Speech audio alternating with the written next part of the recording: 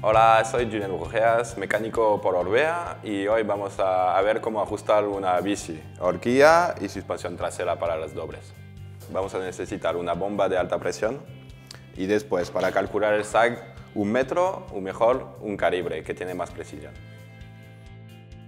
Lo que vamos a hacer es ajustar el SAG. El SAG es el recorrido que se comprime cuando subes en la bici que para un OCAM, que es una bici de maratón, vamos a estar a unos 25%. Una bici de rally, que va a ser el OIS, vamos a estar a unos 15%. Y para una bici de enduro como el Rayon, que tiene mucho más recorrido, unos 30% de recorrido. Esto es para amortiguador trasero. Horquillas siempre calculamos entre 5 y 10% menos. Entonces, para este OCAM vamos a estar entre 15 y 20% de recorrido. En primer paso, lo que vamos a hacer es poner la presión recomendada por el fabricante, que son para amortiguador, que viene en el tirante de la bici, que se encuentra también en internet, y por la horquilla, que viene con el manual y que se puede también encontrar en internet. Entonces, empezamos por la presión recomendada para el fabricante. Para mis 80 kilos son 160 psi.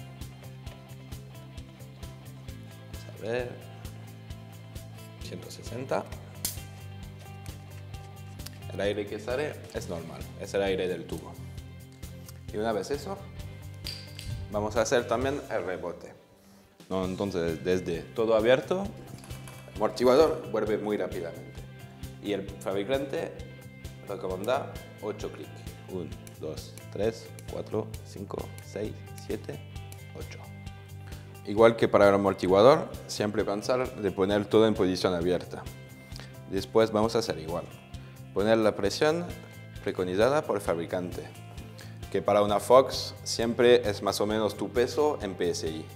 Entonces, para mis 80 kilos vamos a meter un pelín más, que son 85.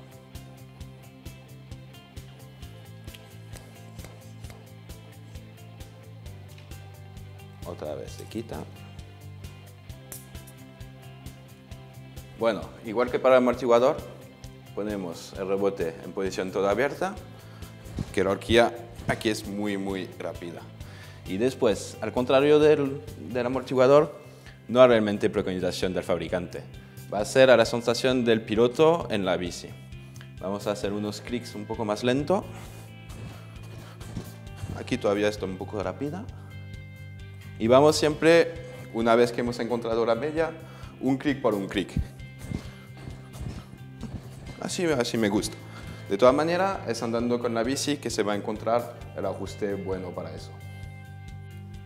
Ahora que hemos puesto la presión recomendada por el fabricante, vamos a verificar el SAC subiendo en la bici. Pero para saber el SAC, como he dicho, de 25% para el trasero y unos 20 para la horquilla, vamos a medir el recorrido. El amortiguador estamos a 50 milímetros, quiere decir que 25% de estos 50 milímetros son 12 milímetros. Y la horquilla de 100, los 20% son 20 milímetros. Y antes de subir en la bici, ponemos bien las gomas, subimos en la bici, se ayuda de una pared, así, y bajamos. Y ahora, con, todavía con el metro, o si se puede mejor con el calibre, venimos a ver de cuánto se ha comprimido el amortiguador. Y estoy justo en 12. Si no llegamos a los 12, hay que bajar un poco la presión. Y aquí en la horquilla tenemos el mismo. El SAG con el recorrido que se ha comprimido y debemos llegar entre 15 y 20 milímetros. Lo que me gusta un poco brendo, estoy a los 20.